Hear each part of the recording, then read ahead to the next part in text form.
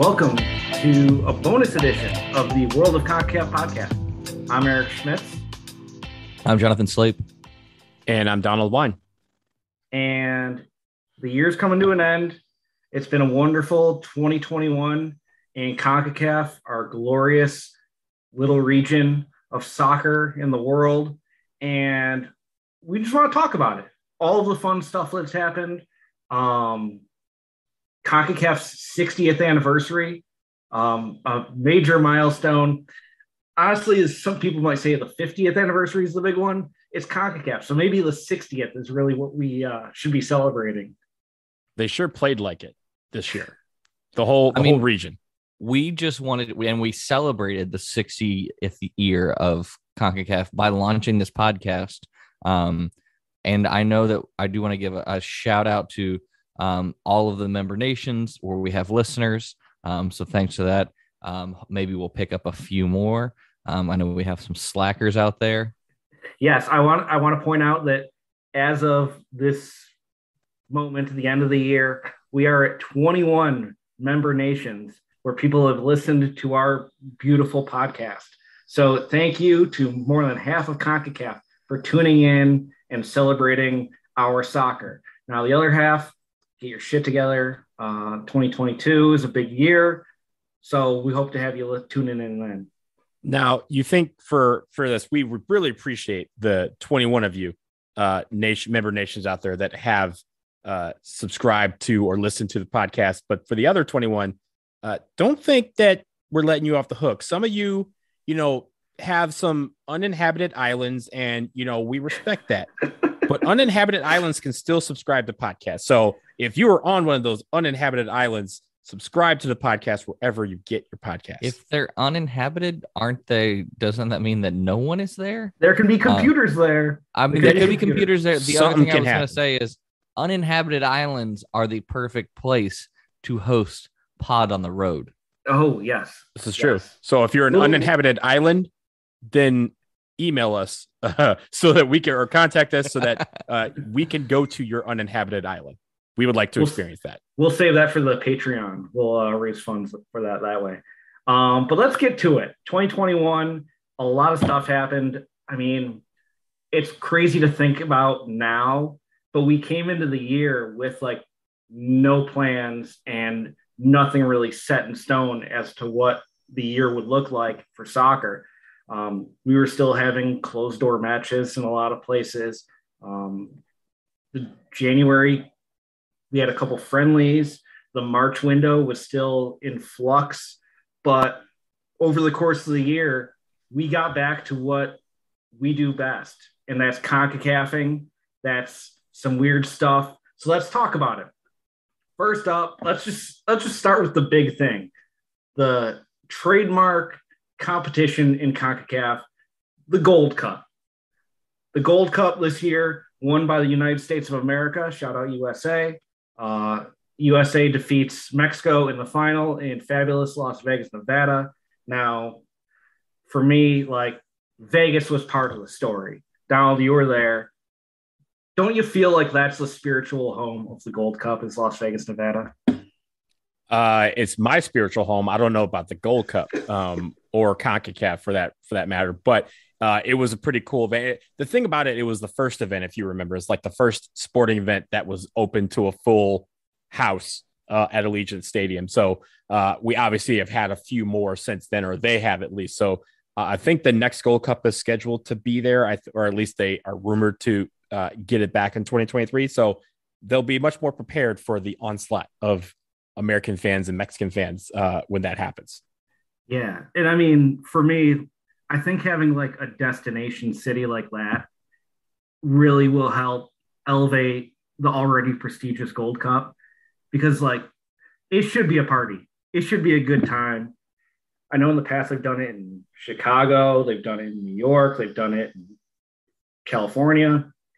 I think Las Vegas, like, that is a destination. And it'd be really cool if CONCACAF going forward sticks with that. I, I do want to mention just a, a, blanket like kudos to the region, to to CONCACAF. In all seriousness, like before we keep going, this year was hell to organize for us, right? Like you know, for all of you out there, it was hell to organize your life uh, in your little apartment or your small room in your house, whatever that is.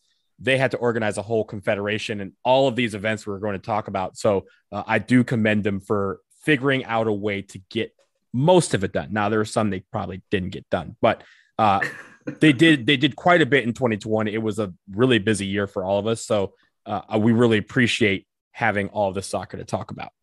Yeah, especially when you think about all of the uh, logistical um, issues with dealing with uh, 42 member nations, where we have various COVID protocols and various issues. So, like, I mean, just shout out to them for, for being able to navigate all of that. So, um, especially in an ever changing world, as um, guidelines changed, sometimes it seems like um, on, on very short notice. So, they did, did a fantastic job there.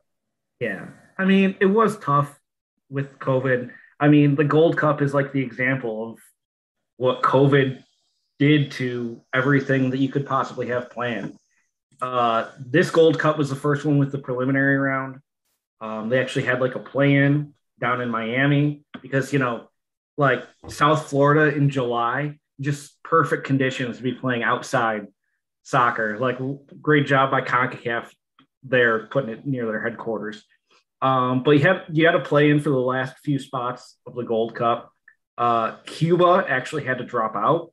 Uh, they couldn't get they didn't I wouldn't say they couldn't get their paperwork together in time, but they didn't get their paperwork together in time to get into the United States to play the game. Now, obviously, there's some geopolitical stuff going on. Um, Cuba, not the easiest for them to get into the US. Understandable. But like they didn't even get their COVID testing stuff in line. CONCACAF even came out and said after the they had announced that it's like, hey, Cuba's not to be able to make it for this game. French Guiana's getting pushed through. They're getting the pass. Cuba just like it was a clerical error. Afterward, CONCACAF was even like, yo, these guys didn't even have their stuff together. So Cuba really fumbling there, missed out on the opportunity to qualify for the Gold Cup. Um, really disappointing. They had to drop out. Also, even after qualifying in the preliminary round, Curacao had to drop out uh, because of a COVID outbreak within their team. So, in CONCACAF fashion, you had Curacao dropping out on like the eve of the tournament, and CONCACAF just deciding on a whim. All right, uh, okay, Guatemala, you're in. They've, who had just Guatemala- fired their coach, who had just fired their yes. coach because he did not make the Gold Cup. And, and that's probably the most clear. CONCACAF thing of the year. He didn't lose a single game either. He yeah. just drew the entire time. So he didn't lose a game. He doesn't qualify, so he gets fired. Um, and then they get six, five, six, not even five, maybe three, four days after he gets fired. Um, Guatemala then gets, you know, put into the Gold Cup in, in replace of of Curacao. So, um, yeah, and Just, all of their um, players had scattered back to their clubs. So then they had to recall all of the players that were going that because they couldn't just recall anyone. They had to recall the guys that they had brought in for the prelims because that was their Gold Cup roster. So they had to recall all those guys. They delayed the game by a day just so they could, you know, get to wherever they needed to get to. Uh, I tell you, that's the most CONCACAF thing of the year. That whole, that scenario right there, Guatemala not losing a game, not making the Gold Cup, then getting in based on COVID, and then because they didn't get in. They fired their coach, and then they had to get a new coach and get all their players back. That is that is Concacaf for you. Yeah, and then they had to redo the schedule because I mean this happened like two days before the tournament was supposed to start. So they actually had to reschedule like their first game of the tournament just to like make it competitive, and they didn't advance. It wasn't competitive. Um, now they had that preliminary round to qualify for the Gold Cup, because there was just three spots up for grabs with the expansion of the tournament. Why were there only three spots up for grabs for this tournament? Because one of them went to guest team, guest nation, Qatar. Qatar participating in their first Gold Cup. Um, gentlemen, how do you think Qatar did as far as like assimilating into the CONCACAF? Fuck them. Look, I, I, will I will say as an aside, um, they have the uh, they have the Arab Cup going on right now that they're obviously hosting because they're you know they host everything now. And FIFA, for the first time, basically sanctioned it, said this is now the FIFA Arab Cup. I hope the Caribbean is taking notes because I think the Caribbean should do the exact same thing. And then when you do do this and it gets sanctioned by FIFA, we would love to be the ambassadors of this tournament. I think the three of us would be very good at being the hype men in all the stadiums. We, I mean, we you could spread us out or you could put us in one stadium, however works. We're very flexible, but just holler at us about that. FIFA, get on your grind, sanction the the Caribbean Cup and make it a FIFA tournament. Even the Windward Islands Championship, I'd be happy to go down. Yeah, West that. Indies tournament, cool. Yeah, whatever it is. The ABC tournament, whatever you guys got to do, whatever you guys got to do. Um, so Qatar gets into the Gold Cup, actually goes on a run. They fall in the semifinals to the eventual champions US. Wonderful, exciting, thrilling game.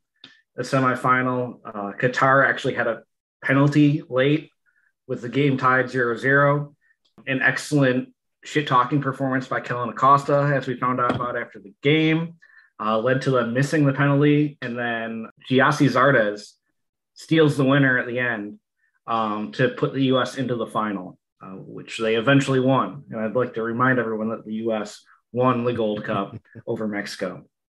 Any other thoughts on the Gold Cup before we move on? No, not really. I'm just really excited to get to this next tournament, who which I'm a little upset that you put the other one first because this next tournament um, I feel is the most important, um, not only in CONCACAF but in world football. Um, so this see the Gold Cup is the appetizer.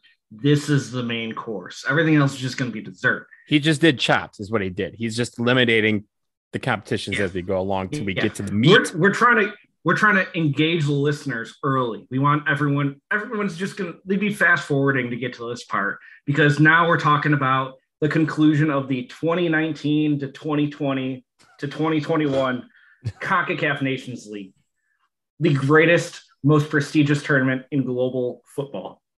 Gentlemen, just how fulfilled are you that we've finally got a CONCACAF Nations League under our belt? I mean, I'm ecstatic. I mean, because that trophy um, deserved the uh, it deserved the recognition it deserved a chance for someone to win it. Um, I, am just so excited that the the tournament not only you know finally concluded, um, but it ended in one of um, I'm gonna call the my game of the year. Um, okay. Just because of, I mean, yes, it, it concluded with a U.S. win, but like that game was full on CONCACAF. Like, like I mean, oh, yeah. we'll, we'll we'll we'll dive into it, but I mean, there, I mean, I probably ten CONCACAF moments in that single game. Yeah. Now that beautiful silver trophy that they unveiled, that is now like it's up with like the Jules Rimet Trophy as like the most famous in soccer. Um, now belongs to the United States after a thrilling 3 2 extra time victory over Mexico we got a little bit of a theme here US beating Mexico. It's been a good year. It's been a very good year. But I know I was in Denver for the semifinals and final. Uh, Donald, you were as well. Just what was it like being there for like the inaugural CONCACAF Nations League finals? It was one of the greatest nights of my life. Um, it was it was outstanding from top to bottom we saw a lot in, in both the semifinal and the final. If you're a US fan, you got to see a lot of CONCACAFing. Oh my God. Honduras semifinal. You got to see even more in the Mexico game in the final. Uh, but it was, it, it was also right. It, we talked about it. It was just as we came back out of into the world from COVID. So to come back with that and come back with the bang that it came back with was everything. It set the tone for the summer. It set the tone for the rest of the year for the entire region. Uh, that I mean, if you've noticed that the the Concacaf thing has only gone up from there, and people it hasn't it hasn't gotten to that level, but everyone knows what the bar is because the bar was set very very early with those games. Yeah, I mean, for me personally, like the semifinals in Denver, that was the first first big soccer game I had been to back since COVID and that's just like jumping in the deep end of the pool of CONCACAF, where that first half, you just had like a masterclass in time wasting by the Honduran team. Just every five minutes somebody's going down, someone's hurt. You're just taking all the time with the throw ins. It's like, oh, you're cramping up already. Just it really it was like a breath of fresh air after being inside for over a year. Um, and a thrilling finish to that first semifinal um, with the U.S. snagging 1 0 win over Honduras, Mexico advancing in the other semifinal with which had its own CONCACAFing in it. Um, but really, that final, that is, if you had to distill what nonsense we deal with into like one game, I think that was like the perfect game for people for outsiders to really get a taste of what's going on. You had fights, you had coaches getting red cards, you had penalties, you had missed penalties, a lot of shit talking, uh, people throwing stuff from the stands. Uh, Gio Reyna was actually hit with some stuff fights. celebrating a goal. There was Multiple. fights. People were Um, choked. Yeah, there was choking. Um, Tata Martino getting that red card for putting his arm around the ref at the VAR, VAR booth. Um, And th- then there was choking, not just of a physical player, but then choking by Mexico. And, Yes. and Andre scored. And Andre There's scored two out of- PKs in the second half of the extra time. like what? I will mind. I I will say this. There's been a lot of you out there who listen to the show and have gained the love for Nations League that we had already. And I want to let you know: do not fret. The greatest tournament in the world, the second edition, is only nine months away. We are almost back. nine months away. It starts in it starts in May. Oh, it, oh, May- oh, yeah, it starts well for Yeah. for for all but a couple of teams. It starts in May, but for the for the meat of it, it's September and October. That's when it's just nothing but Nations League, and That's, prep that's for the World Cup. 2022 problems. That's it's 2022. 2022 problems. So I'm just saying, we're recapping. I know people are like, man, I need to get out there. I need to. I need to. I I should have done this last time. Don't worry, it's coming soon. But that's why we recap. Now, I, I do want to add before we move on um, from Nations League and the glory of it that you can still get your CONCACAF Nations League merchandise on Amazon right now. Um, so if you need holiday gifts uh, for your loved ones, for your friends, maybe your favorite boss, podcast host. favorite podcast host, Amazon's CONCACAF shop still has all the Nations League merchandise you could possibly need. So highly recommended for all that. Any other thoughts on Nations League other than we're just waiting for the next one? it's the greatest tournament in the world and it, it's it's lovely that we were able to recap it it's lovely that it's a part of our region i mean if it was in like some place like you know europe or something like that i wouldn't care as much but it's here so we're, we're glad that it's here we're glad that it's our tournament and we're glad that it set the tone for the year I've got one more question to both of you. We're, we're all US fans here. There were two key moments in that match, that final match. Which one is more memorable and more special to you? First, is it Pulisic shushing the crowd in that photograph after his goal to put them ahead? Is it that as like the premier moment for you? Or is it Kellyn Acosta telling Andres Guardado that he's retired? for me, it's neither. For me, it's predicting that uh, Ethan Horvath was going to stop Guardado's penalty while he was being talked to by Kellyn Acosta. Um, and you were in the stands. You can confirm this. Oh yeah, Uh, that is my that is my that is my moment of the match because there was a whole building saying, "Okay, we're going to penalties," and I was like, "No, no, our man Ethan Horvath is placed on this earth for a reason. It's to win us the Nations League, and that he did." that'll always be the Ethan Horvath game. hmm All And the man went out and got a Pepsi afterwards. you know what? to the victors go the spoils. You know, exactly. so two big trophies for the U.S. Uh, this summer as far as senior national team goes. The next tournament we want to talk about, uh, the CONCACAF Men's Olympic Qualifying Tournament, did not go so well for the United States.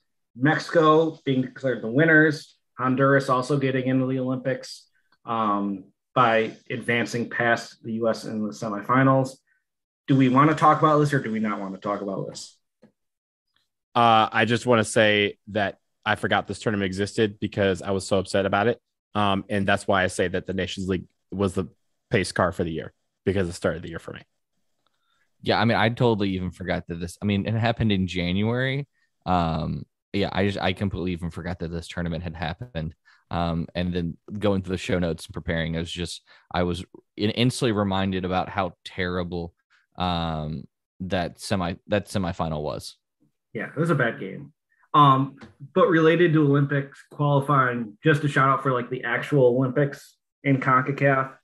Um, Donald, do you want to talk about the women's side? Yeah, on the women's side, we did have uh, Canada win a gold medal uh, for the first time. The United States ended up securing the bronze. That they were the favorites entering the Olympics, but uh, ended up with the bronze. But I think CONCACAF did quite well for themselves, considering that they got two out of three places on the podium. Yeah. Very good, very good Olympic outing for the CONCACAF nations. Um, so we look forward to a better performance in the next Olympics, which I'm blanking on where it's supposed to be. Do we know where the next Olympics is? The next Olympics is in Paris in ah. 2024. Olympic qualifying for the women will be next summer. So uh, also with uh, qualifying for the World uh, World Cup. So That's it's right. one tournament, the CONCACAF W Championship, a new tournament that came about this year. So we can put this in this recap, but that oh, will yeah, debut yeah. next summer. See, what CONCACAF does best is just making up new events, making up tournaments. Yeah. So big, big summer for the women uh, in 2022. Uh, just to touch on some other things that happened, the CONCACAF Futsal Championship that took place back in May in Guatemala. Uh, Costa Rica taking home their fourth title, uh, beating the United States. Do we have any thoughts on the Futsal Championship? The U.S. made the final. All right, moving on. Next is the 2021 CONCACAF Beach Soccer Championship, and that was taken home uh, the title there by El Salvador. Jonathan, you got any thoughts on this? Uh, I mean, the again, the U.S. made the final, um, so that that's the uh, that's the that's my thought. Well, El Salvador takes home the title uh, down in Costa Rica. That took place in May. Frank Velasquez with 11 goals uh, for El Salvador, leading the way. So, congrats to Frank and El Salvador. Uh, all right. Then just touching on some of the club championships, Monterrey, uh, your CONCACAF Champions League champions. Uh, any thoughts on that?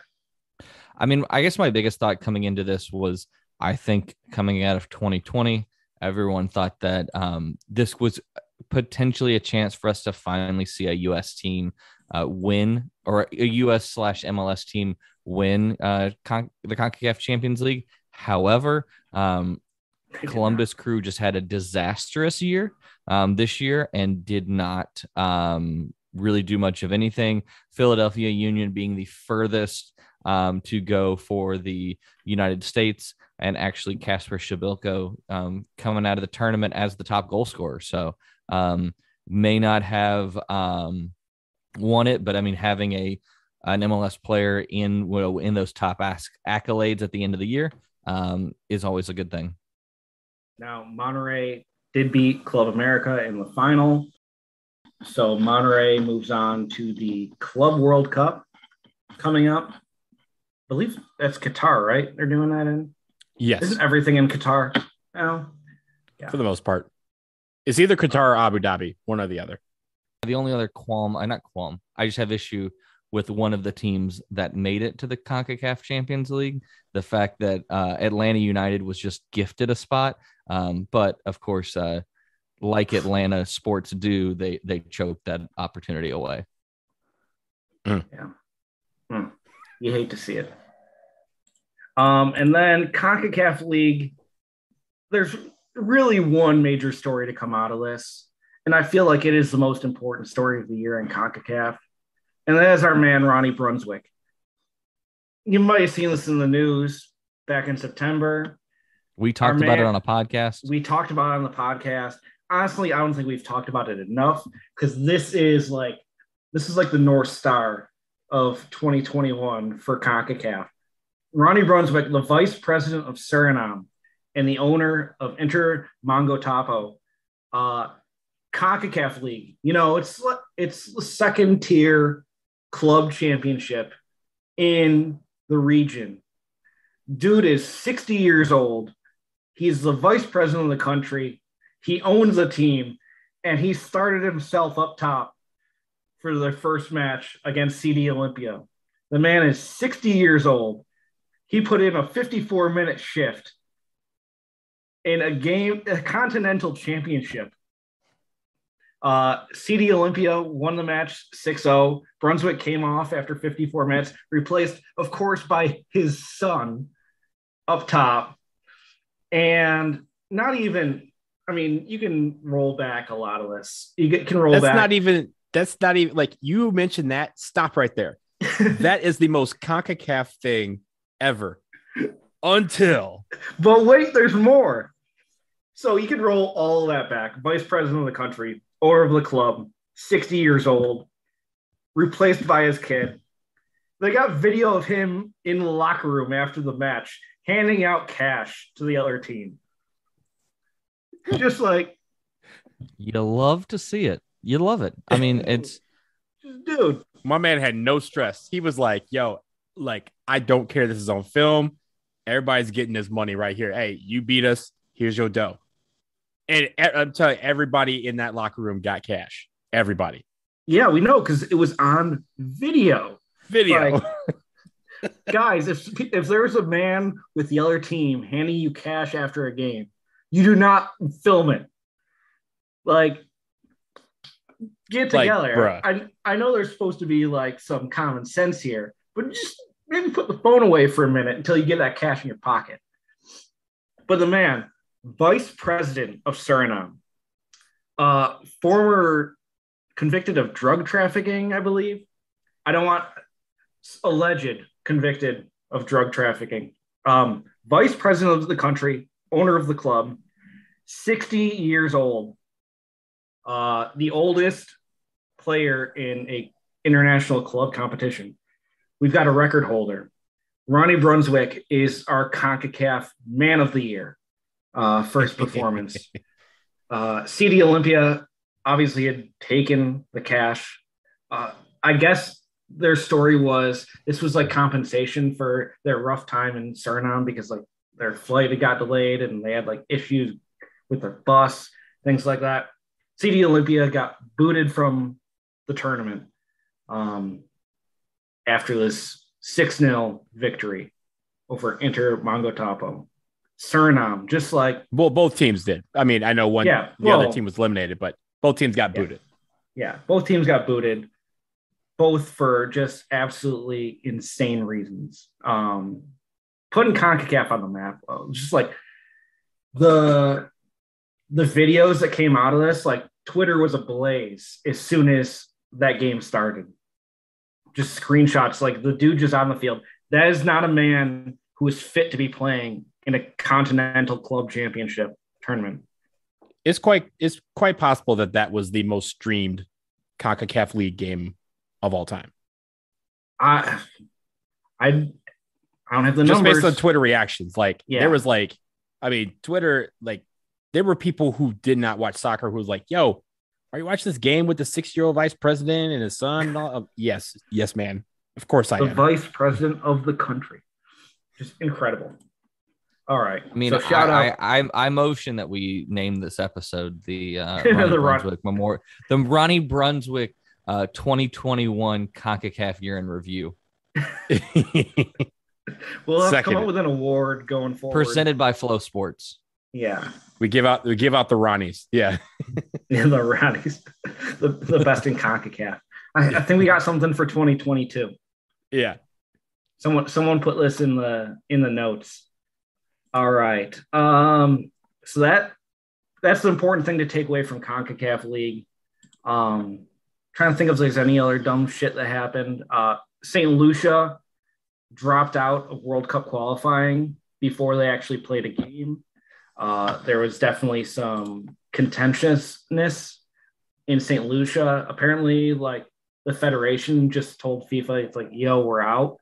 And didn't talk to the government, didn't let the players know ahead of time. They're just like, yeah, we're not playing. Um, it has some to do with COVID, some to do with finances, but St. Lucia was the first team eliminated in CONCACAF on their own volition. Uh, and that really that came like within like I want to say within 24 hours of World Cup qualifying starting. So I mean, it was a very late decision. Mm-hmm. Um, that and it, there was a lot of like the reporting out of that was they they are they are canceling it. Oh no, they're just going to forfeit this one game. Uh, there was a lot of back and forth, but then they finally did um, withdraw from the the qualification process as a whole.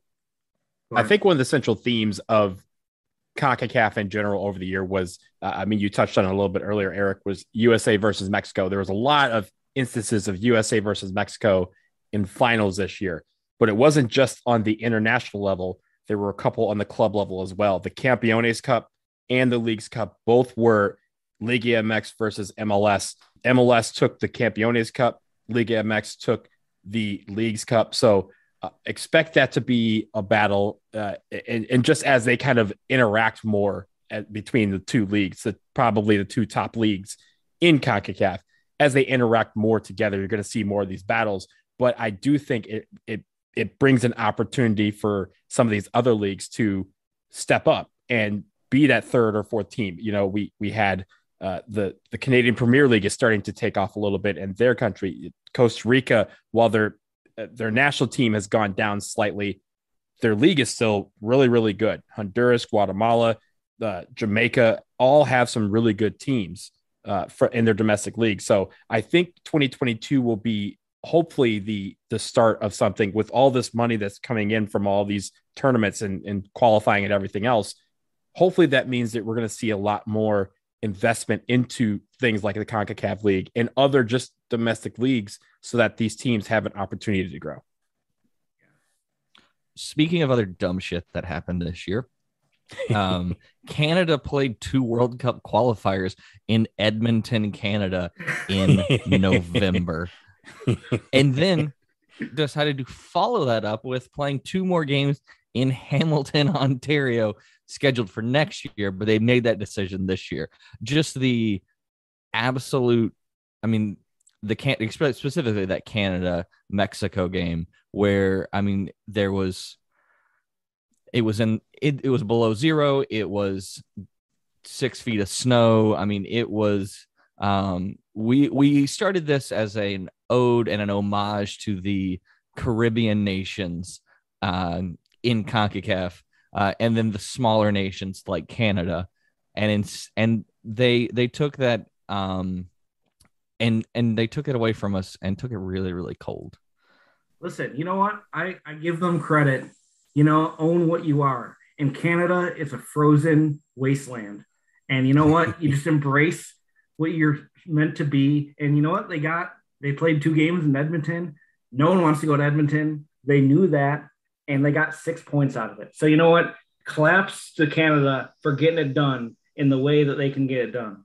Speaking of the Caribbean, we can't we, we have to mention briefly the fact that uh, Jamaica said, "Hey, uh, this game against the United States will not be with uh, fans in the stands," and the fans were like, "I'm sorry, what?"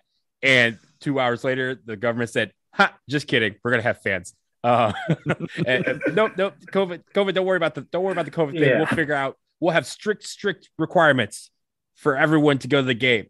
But yeah, you guys can still come. So, uh, yeah, COVID wreaked a lot of havoc with regards to logistics, but that was a funny one. Uh, never before have I seen a game uh, be closed door and then opened in the span of three hours. Oh yeah, that was a quick one. We'll we'll touch more on that soon. But one last dumb thing I want to get to before we move on to some more prestigious stuff. Um, Trinidad and Tobago, they did have uh, some uproar over. So Gary Griffith, the police commissioner of Trinidad and Tobago, allegedly influenced the federation to put his son on the national team for the World Cup qualifiers. They did not qualify, they did not advance. His son, questionable talent level, allegedly. Huge uproar after the failure to qualify about the dude, the police chief's dude, his son, getting into World Cup qualifying. You know, with these smaller countries, there's always instances where it's like, you know, maybe some people have too much power, but Gary Griffith, shout out to him for uh, being a good dad and getting his kid on the national team. That was great stuff. Great stuff. Uh, so, amongst other dumb shit, that was things we need felt we needed to touch on. I want to talk about 2021 and fashion.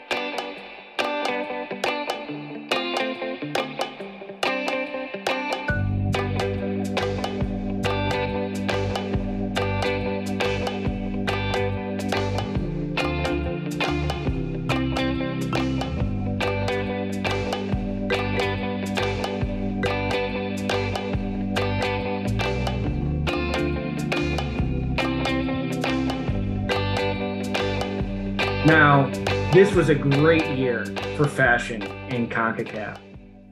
Donald, do you kind of want to walk us through some of the beautiful rebrands we've seen in 2021? Well, first of all, I, I think CONCACAF, if they did anything better than the rest of the world, it was two things. It was Nations League and it was yeah. rebrands and new kits because the new kits coming out of CONCACAF nations were on fire this year from the U.S. to Anguilla. Shout out Anguilla. Shout out Anguilla. Uh, uh, the bowl, the bowl scene taking over in Montserrat and Trinidad Tobago. Shouts to them. Shouts to Vincy Heat. They came out with some heat. Uh, just all over the place. Shout out I mean, Bermuda. Bermuda had some great kits. Kits were hot. It, it was it, Jamaica even has some good kits. I know they carried over yeah. from 2021 uh, or from 2020, but th- they had some fire kits too. And really, I feel like the brands have stepped up in a lot of areas with some of these teams. They a lot of brands shout out shout out stimulus friend of the pod. Um, yeah. They you took on some new uh, some some smaller places and saying, hey, look, smaller company, give us your best shot, see what you can do, and they came with some fire. They were able to kind of let loose and really break break outside of the box that a lot of these teams have been inside. So shots to them, and also Mexico uh, you know, you know, we here in the podcast, we are we are we very much do not like the Mexican national team or its federation, but I will say that or rebrand fans. is quite nice.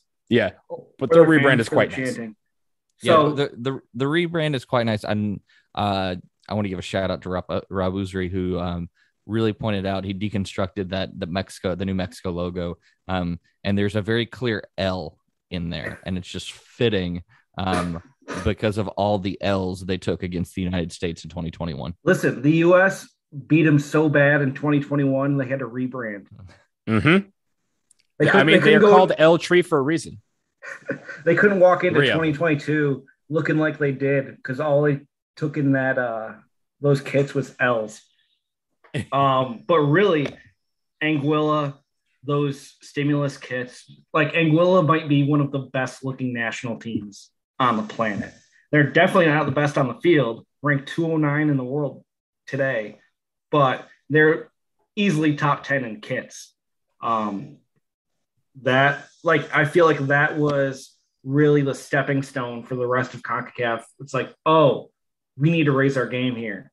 Um, you saw Montserrat, the Emerald Boys, dropping those new kits with Bowl, really nice. Trinidad and Tobago even jumping on with Bowl and getting their new kits. They've just absolutely great looks for these teams. Um, Mexico with a new crest, also Costa Rica with a new crest. Um, their old crest was very, I don't know, interesting. Like it was clip arty. This I didn't mind it a, though. I didn't. I didn't mind I didn't, it. You know, it was very. It's very like signature. Like I saw that and it's like, yes, Costa Rica but mm-hmm. their new simplified crest is just a CR. Very nice. Um, Costa Rica's Costa Rica's new crest is a very good example of no one did not knowing you needed something until you saw it. Like yeah. I didn't know they needed a rebrand until I saw the the rebrand and I was like, "Oh, that's there you go. That's what that's what I'm looking for right there." So, uh yeah, shouts to them. They did really well with something that I again, I didn't think needed rebranding, if you're going to do it, make sure it's better. And I think it is. Yeah. And also, I do want to include El Salvador. El Salvador dropping new kits, courtesy of U.S. Border Customs. Uh, dudes have a brand new kit out of Umbro, and U.S. Border Patrol is like, "Yo, check out this this counterfeit merch we sne- we seized." And they posted online. It's like, "Yo, those are the new El Salvador kits. What are you Yeah, doing?" they got a cease and We, desist. and we need them. Yeah. And we need them. We're need The- let, us also remember that it was the Cincinnati. It got seized in Cincinnati by the Chicago Border Protection Division. There is no Mhm. border in Cincinnati. I don't know what the hell they're doing. Well, there is. It's the border between Ohio and Kentucky. And luckily for Kentucky's airport, or for Cincinnati's airport, it's located in Kentucky. Uh, so they don't have to cross any border to go into Ohio. Listen, Cincinnati was good to us this year, so I'm. This is true. Uh, I'll, I'll leave them out of it. They can be considered Northern Kentucky for right now. All yes, right. they're definitely Northern Kentucky, and I'll accept that because I know it how much it irritates the people of Cincinnati. I mean, it could be worse. They could be part of Ohio. Like, it's- Hmm. there are worse things in life. Oh, I mean, they're so deluded that they think of themselves as better because they live in Ohio. Delusions of grandeur. All right, but a lot of beautiful new kits, beautiful rebrands. CONCACAF, you're just looking really good right now. Um, the last big thing I really want to touch on is a recap of our Pod on the Road series. Now, Donald and I got to do a bunch of traveling this year. Uh, we don't really consider Pod on the Road for like domestic games, but we hit the road to outside of the United States to visit CONCACAF and really embrace the CONCACAFness of these nations. Uh, so, first up, Donald El Salvador. What did you take out of that trip to El Salvador? Uh, I think, like you, it was our first time in El Salvador, and it was amazing. the The stadium, uh, getting a standing ovation, entering the stadium as an away fan, I think is probably the highlight of being a fan on the road this year. Yeah, just a background. Donald and I attended the U.S. World Cup qualifier against El Salvador at Estadio Cuscatlan, like the cathedral of Central American soccer. What was it like visiting Cuscatlan? It was terrific. I mean, they told us it was going to be uh, reduced capacity, and it was reduced It by not. about 500 people. Um, it was a Negative full, it was a fifty full- percent. it was a full gym um and they were they were live the entire time um they're belting out their national anthem they were ear splitting loud uh the fireworks going off for the first 10 or so minutes of the game both inside and outside of the stadium um just it, it had everything and even on the field there was a lot of fireworks i mean for for us fans it was kind of a, a game that was uh, you would consider drab but I think for the El Salvador fans, it was their first World Cup qualifier uh, in in the final round in like ten years. So they were hyped and they were ready to go, and it showed on the field and in the stands. It was a great, great, great experience. Yeah, wonderful experience. Personally, it was my first police escort. Um, us getting from the hotel to the stadium, so it was it was a wonderful experience for me. The game, the fireworks were going on before the game and during the first five minutes.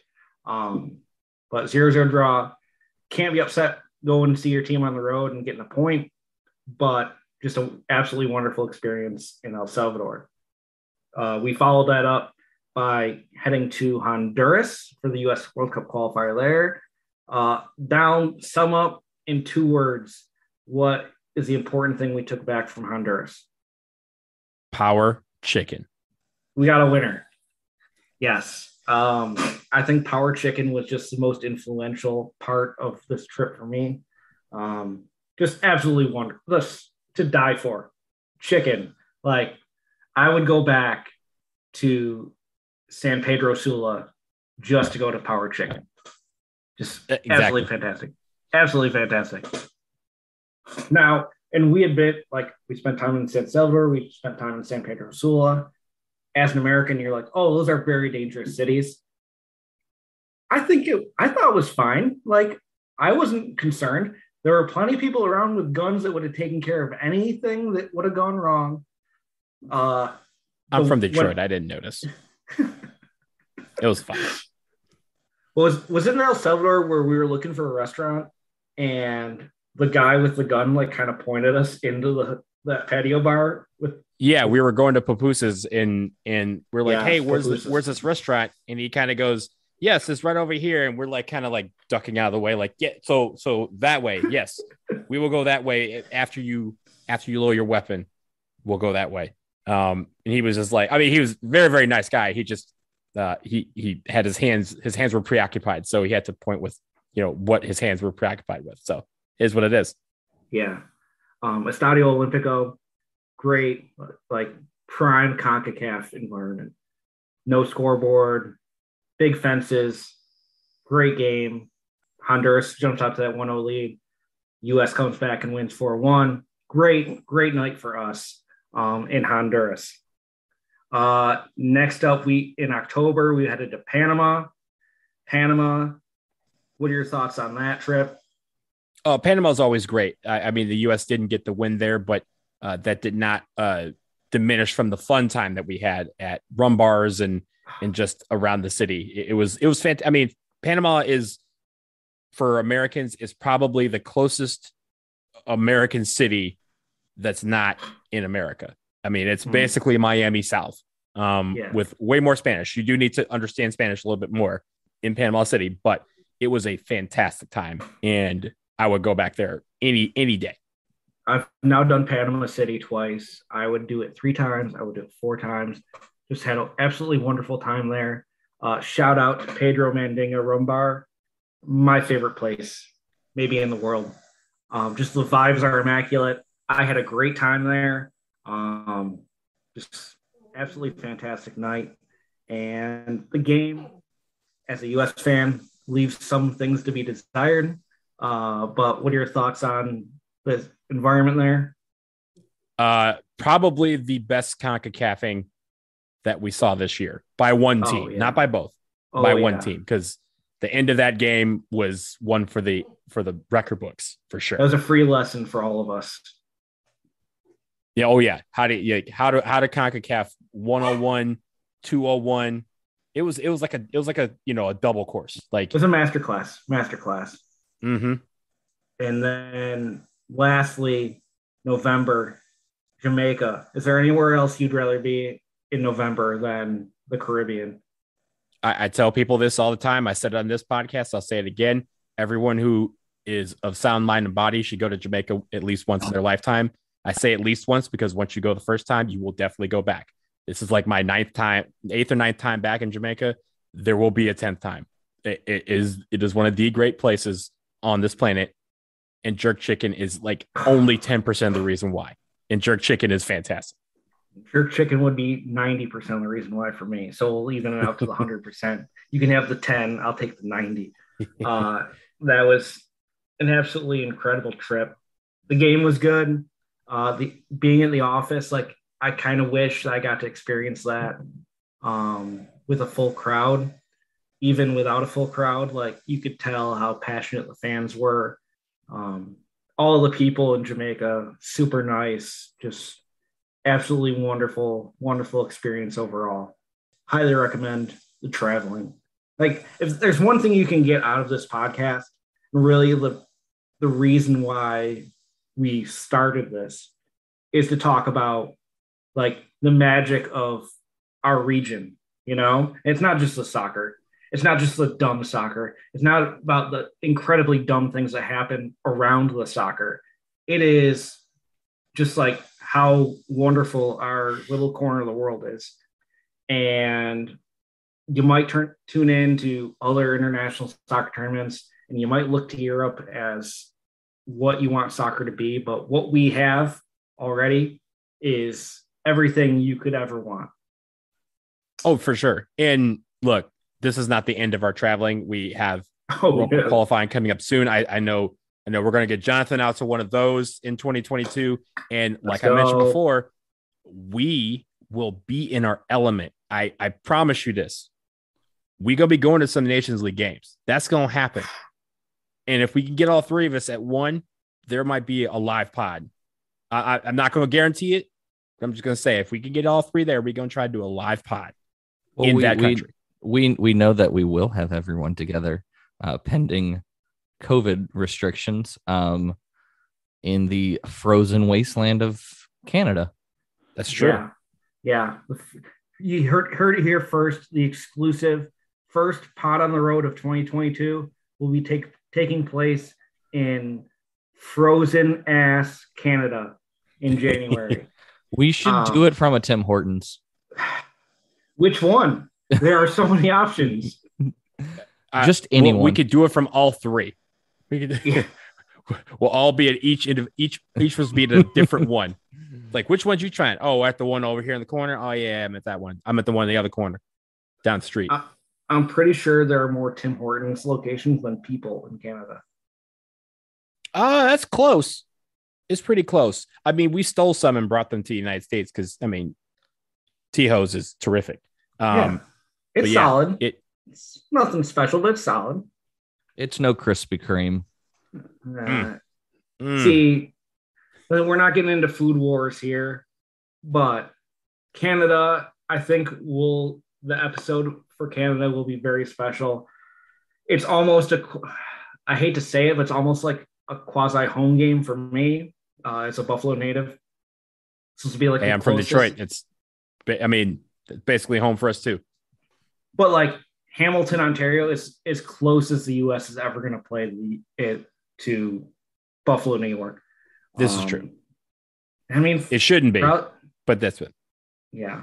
So there will be um, many things discussed, many adventures adventured, uh, many tables broken on that trip uh, north.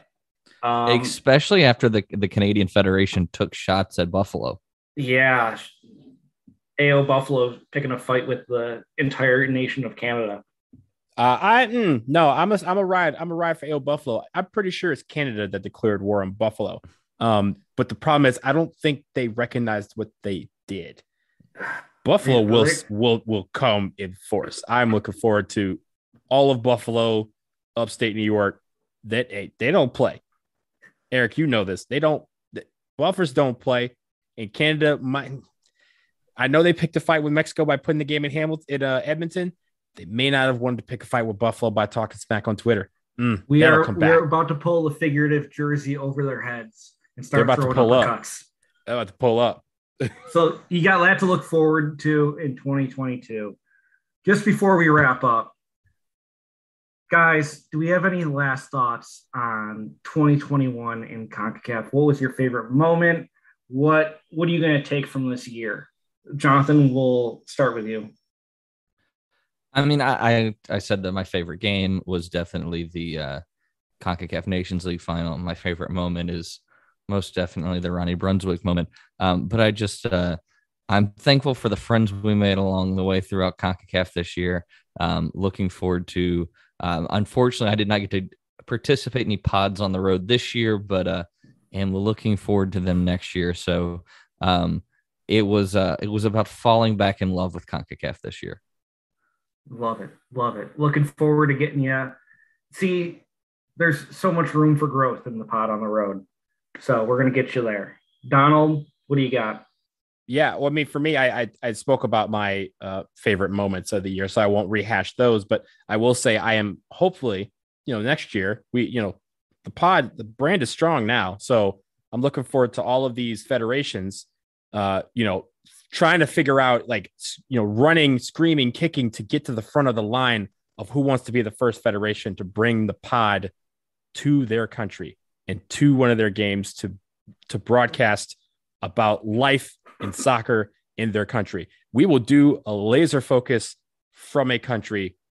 I hope we can do that in 2022, but it's up to you out there, federations. The, the 21 of you who are out there who are listening, you guys can fight to be who's first in line. The other 21, they're just going to have to wait. All we're asking is for you CONCACAF nations out there to open yourselves to us like we have opened our hearts to you. That's that's really what Exactly. we're looking for here. And we know they like paying people off over out there. Exactly. Like, I'm that's what just I'm just looking is. from I'm just looking for my cut here. everyone. Has my has cut their is price, jerseys. and ours ours is lower than you could ever imagine. Yeah, we're Look. cheap. We are Yeah. cheap. We are cheap. We can if be. you want to send me a jersey, that would be great. Honduras, if you want to send us some power chicken, that would be absolutely lovely. Jamaica, if you want to send us some Appleton and jerk chicken along with your jerseys, we will accept all three. Like we'll split, we'll, we'll figure out who gets what. We'll do a draw on on on the air, figure out who gets what. But we appreciate all of you, and we hope that you appreciate us. Donald, do you have a favorite moment? I, I told you my favorite moment was was knowing that Ethan Horvath is going to stop that penalty kick, and he stops the penalty kick and and wins the game. I mean, that was as close to a walk off penalty save as you can possibly get. Uh, it, I thought that was terrific in a game that was just the most lit game ever. One of the top five games in one of the top five to ten rivalries on the planet. That one, that, that was probably the best one for me. I think the best moment uh, since you guys did Ronnie, I'm gonna say it was Guatemala firing their coach after not losing a game, only to then be because they get did not make the Gold Cup, and then 24 hours later finding out they did get put into the Gold Cup. They need to find a coach and get all their players back because the game that they're supposed to be playing in is 36 hours away. So I think that right there is a moment where logistics. We talked about how they committed logistics. That was a, a major test of CONCACAF logistics. Yeah, I mean, for me, like, it's clear that the love that we have for CONCACAF is genuine. And coming out of the pandemic, I said my first games in person were the CONCACAF Nations League finals in Denver. And now, for me, who as a small child, I always dreamed of attending a CONCACAF Nations League final. Um, just being being there for that moment and just being there for the moment and that first game the late goal by jordan Pefok to win it like that thrill after having not had that for a year and a half just that moment i'm going to remember for a long time and the joy of that lasted like two three days until I got to feel that joy of Ethan Horvath stopping that penalty right in front of us. Just like being from Buffalo, especially, like you always have like this fatalistic, like it's going to go wrong somehow. You're just waiting for it. And like that moment, it did not go wrong. And just like that elation, that joy, really missed that over the year and a half that we spent away from soccer uh, getting to go to all these games over the course of the year. I mean, I went to a handful, uh, two of the Gold Cup games, the Gold Cup final in Vegas, just like Las Vegas and the Gold Cup, just two of my most favorite things in the world combined. Um, Miles Robinson, to this. Literally the entire night before, people were just singing Miles Robinson songs, and then he goes and scores the winner in extra time in the final just absolutely incredible. And then these trips, El Salvador, Honduras, Panama, Jamaica, just incredible. But my favorite moment, if I had to distill it into one specific moment, um, man, I would have to say that first day of World Cup qualifying, where I got to sit here on watch on Paramount Plus all these island nations playing the most important games they'll play for years and just getting to sit in my home and watch it in all these stadiums across CONCACAF. So seeing us getting back to what we do best, and that's play sparsely attended games in remote island destinations. Um, that's what was most special for me this year. Yeah, I, I'm gonna piggyback off this for a second and give a shout out. I think my second favorite moment was um, uh, both Eric and I have a friend that uh, played for the the U23 Dominica team, and I remember I you know saw him right as these games were starting around that same time, and I was like, "Hey man, have you heard that you're going to be able to watch Dominica games on Paramount Plus?" And just he hadn't he hadn't seen that news yet, and just seeing how excited he was to be able to watch um, his home nation play uh, in World Cup qualifying was was pretty awesome. I think for me, uh, just piggybacking off of that, um, Let's keep piggybacking, boys. Yeah, I, I think there no matter what your favorite moment is and and all of you when we post this episode we want you to tell us your favorite moments from CONCACAF this year because I know everyone's some may be the same some may be completely different some may be things we barely covered that you just thought were awesome but there were moments this year that CONCACAF gave us where and this is not to the to diminish the pandemic but for a moment you were able to forget that we are living in these times, right? You were able to hug your neighbor, hug your friend. You were able to celebrate on Twitter or, or you know, watch a game between Haiti and, you know, the US Virgin Islands on on a streaming service and everyone was able to watch the game at the same time and react to it. Uh, those sort of things that brought us back to the old days where we were able to watch games together and just kind of have this neighborhood pub that we call Twitter or your local pub to talk about it. So I, I really appreciated that we were able to get back to some of that. We're still not done. We're still not out of the woods yet, but we did have some moments that allowed us to be ourselves and express ourselves in the way that CONCACAF knows how. And that's where we are all linked, whether you're American, Mexican, Costa Rican, Honduran, or Bermudan. We have those moments that we were able to share together because this is the greatest confederation on the planet. Another thing I do want to know um, it's a special thing that happened this year. Chuck Blazer is still dead, so that we got that going for us as well. Um, but I just want to say thanks to you two, to Donald, to Jonathan for coming on this ride with me. Uh, it's been really fun having this podcast throughout the year. Uh, we're looking forward to doing more episodes in 2022. If you haven't noticed from the way we title the episodes, like we're going through each episode is a different country. So we're going through all of them. So if you haven't gotten to your country yet, just wait. We're coming for you yet. Um, and that includes you, Canada. I will say this. You mentioned Chuck Blazer. I just want to let you guys know that in the spirit of it being almost the end of 2021, Jack Warner still sucks. And I think that's a good way to close. So, Jonathan, you want to tell us about your where people can find you? Um, you can find me at Speedway Soccer, um, at JSlape SSP on Twitter, and then also at Broadway Sports Media, and of course, World of CONCACAF, where we're at right now. Um, yeah, for me at Blazing DW on Twitter, and you can also follow Stars and at Stars Stripes FC on Twitter. Uh, we are there for all the U.S. Uh, coverage, but obviously head to the pod for everything CONCACAF. Again, thanks for listening. I'll take care of all the social media here. We're PodCACAF, P O D CACAF, Twitter, Facebook, Instagram. Shoot us an email, podcacaf at gmail.com. We take all solicitations for advertising. So if you want to fund our show, we'd love for you to do that. It's been a labor of love so far. Um, we do this because we enjoy it. So thanks for listening throughout 2021. Thanks for all the subscriptions and the good ratings. We got a solid rating on Apple Podcasts. We got to keep getting those five star ratings up. Um, but thanks for listening. Happy CONCACAFing. Have a good new year. And Jack Warner sucks.